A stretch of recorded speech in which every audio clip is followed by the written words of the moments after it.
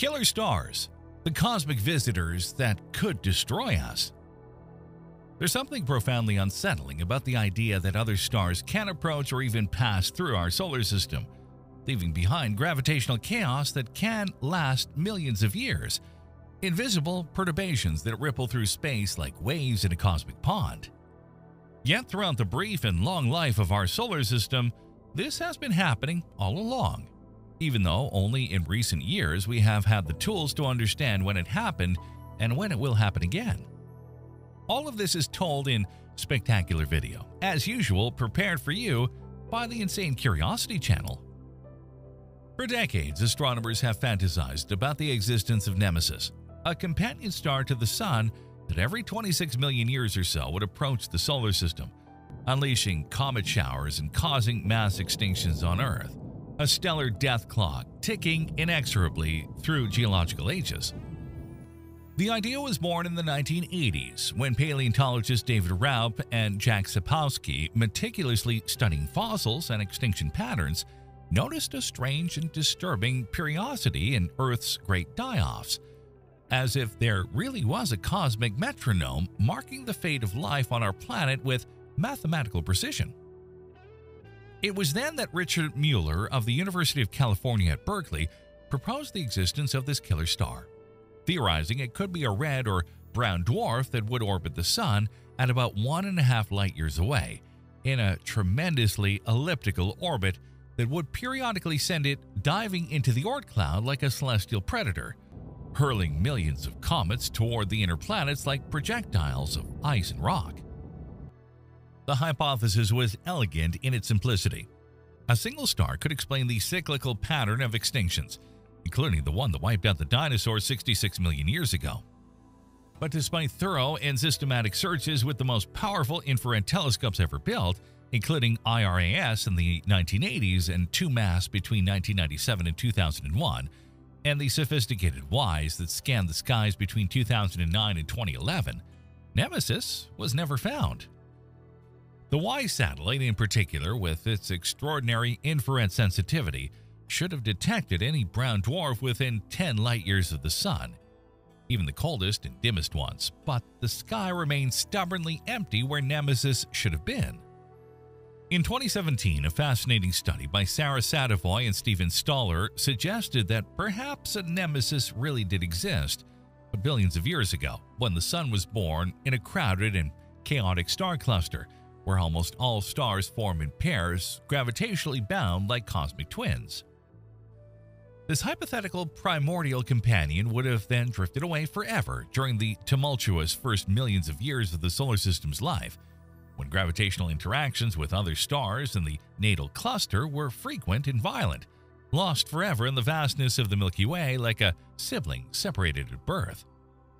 Some astronomers have even suggested that Nemesis might still be out there, too faint and distant to be detected, perhaps an extremely dim brown dwarf wandering at the extreme edges of the Sun's gravitational influence. But the observational data is merciless. If Nemesis exists, it must be so distant and have an orbit so perturbed by passing stars that it can no longer be responsible for the periodicity of extinctions. Yet, even without Nemesis, our solar system is not at all isolated in the cosmos as we might naively think. Stars move constantly, dancing through the galaxy in complicated gravitational choreographies, and occasionally some pass extraordinarily close to our Sun. And when we say close, in astronomical terms, we're still talking about distances that make your head spin and define human comprehension trillions of miles, distances so vast that light itself takes months or years to traverse them. But they're distances sufficient to profoundly shake the Oort cloud, that vast and mysterious sphere of ice and primordial rocks that surrounds the solar system like an invisible shell, extending up to 100,000 astronomical units from the Sun, about 9.3 trillion miles or 15 trillion kilometers, almost halfway to the nearest star, containing billions of dormant cometary nuclei just waiting for a gravitational push to begin their long journey towards the Sun. Hey guys, before moving on, be sure to subscribe to our channel, clicking on the notification bell, and leave us a thumbs up so you don't miss out on our daily videos. The consequences of these stellar passages go far beyond the simple gravitational disturbance we might naively imagine.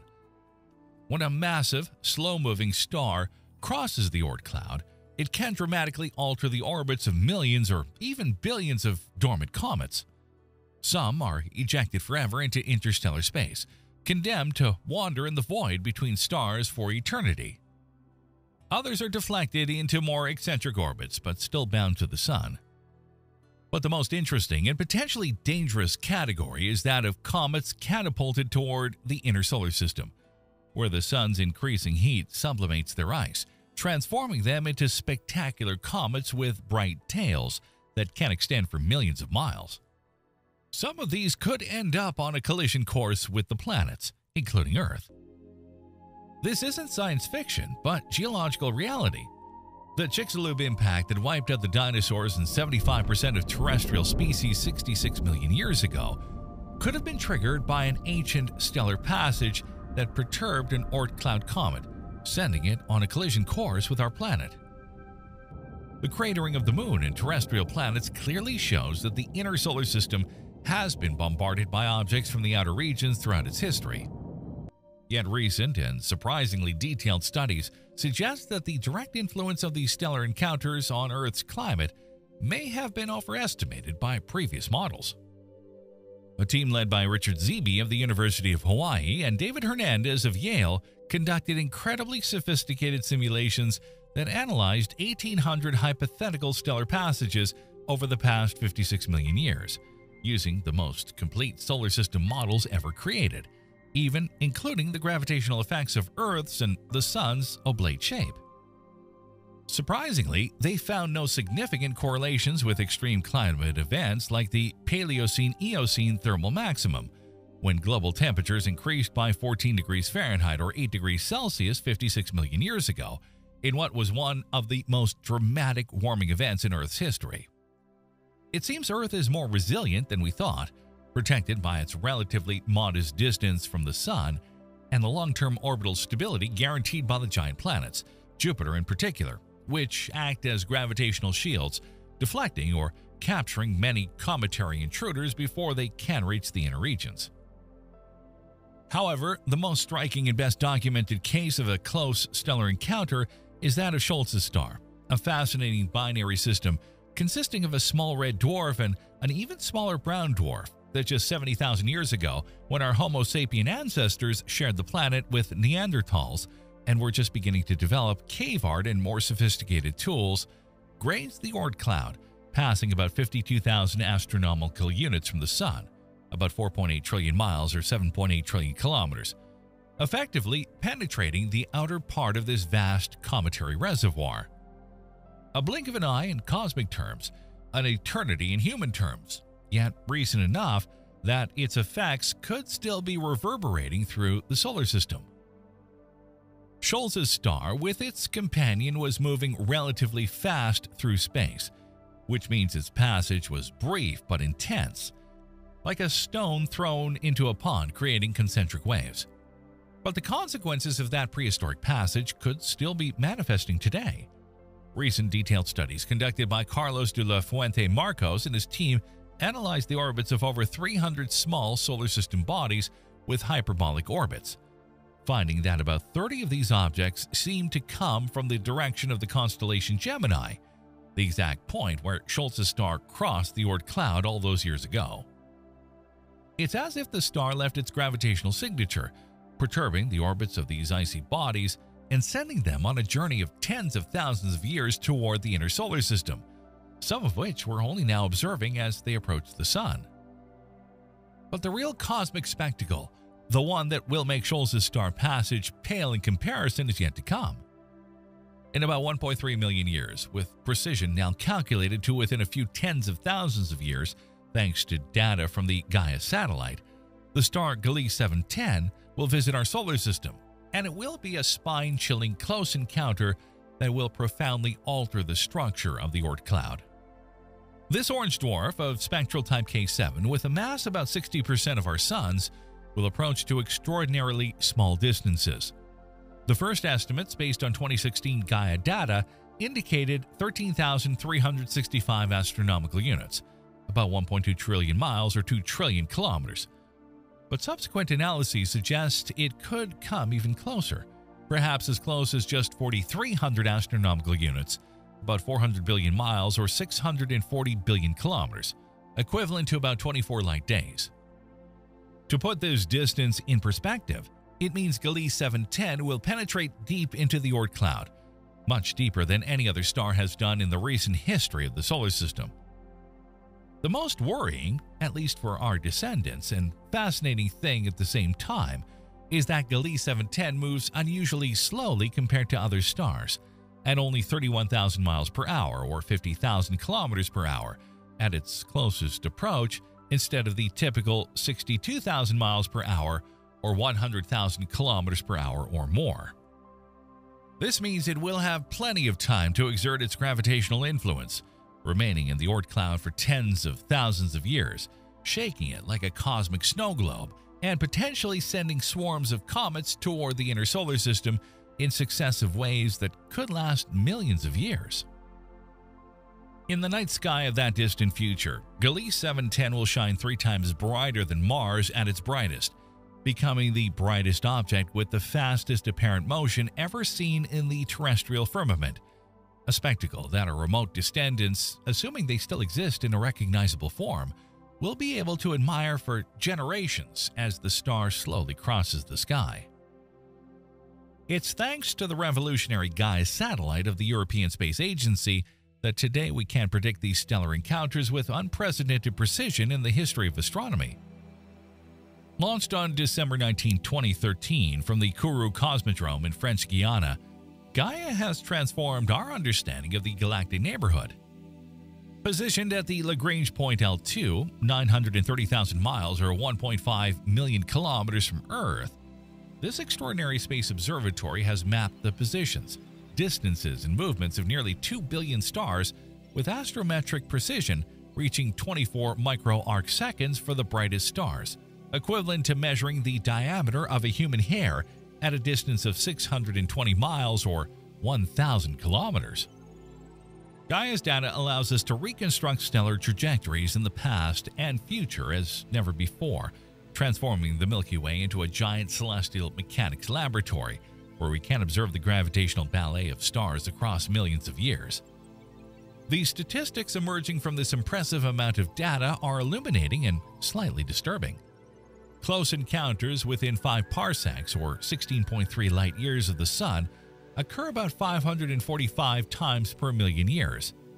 But fortunately, only about 20 stars approach close enough, within 1 parsec or about 200,000 astronomical units, 18.6 trillion miles or 30 trillion kilometers to significantly perturb the Oort cloud.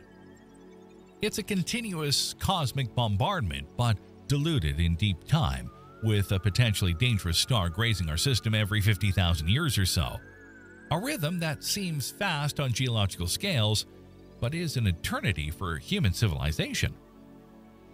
But there's another fascinating and less discussed aspect of these cosmic encounters – the exchange of material between different star systems.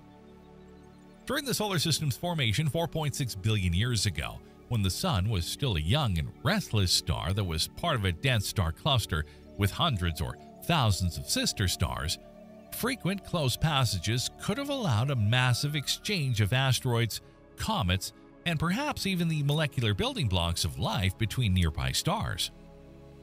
Modern simulations suggest that up to 50% of the material in the inner Oort cloud, between 110,000 astronomical units, and a quarter of that in the outer cloud, might not be native to our solar system, but captured from other stars or from debris floating in the natal cluster during those chaotic first millions of years. This raises profound questions about the very nature of our solar system and the possibility that the seeds of life may have been transported between stars in these ancient material exchanges, making panspermia not only possible but also inevitable on cosmic timescales. The future still holds countless surprises as we continue to refine our understanding of the stellar neighborhood. The Gaia mission, which concluded its observations on March 27, 2025, after collecting over 3 trillion observations, will continue to produce discoveries through analysis of its data for years to come. The fourth data release, scheduled for 2026, will contain about 500 terabytes of information, and the complete analysis won't be finished before the end of the decade. With each new release, new candidates for future stellar encounters will emerge, stars that today are too distant or too faint to have been cataloged yet. Perhaps we'll discover a small mass star that's exceptionally slow and with a particularly threatening trajectory that represents a greater danger than Gliese 710. Or perhaps we'll find fossil traces of ancient stellar passages in Earth's craters, in isotopic anomalies of sedimentary rocks, or in the bizarre orbits of trans-Neptunian objects like Sedna, whose strange elliptical orbit that takes it from 76 to 900 astronomical units from the Sun could have been sculpted by a prehistoric stellar encounter when the solar system was still young. The search for these connections between astronomical and geological events represents a new frontier in astrobiology and in understanding our planet's history. The important lesson emerging from these studies is that our solar system has never been and will never be an isolated island floating undisturbed in space but is instead an integral part of a dynamic, chaotic, and sometimes dangerous galactic neighborhood. Nemesis may just be a fascinating myth, an elegant theory that didn't pass the test of observation, but the real killer stars, or more poetically, the perturbing stars, are certainly out there, in constant motion through the galaxy, and sooner or later, one of them will knock on our cosmic door with unpredictable consequences.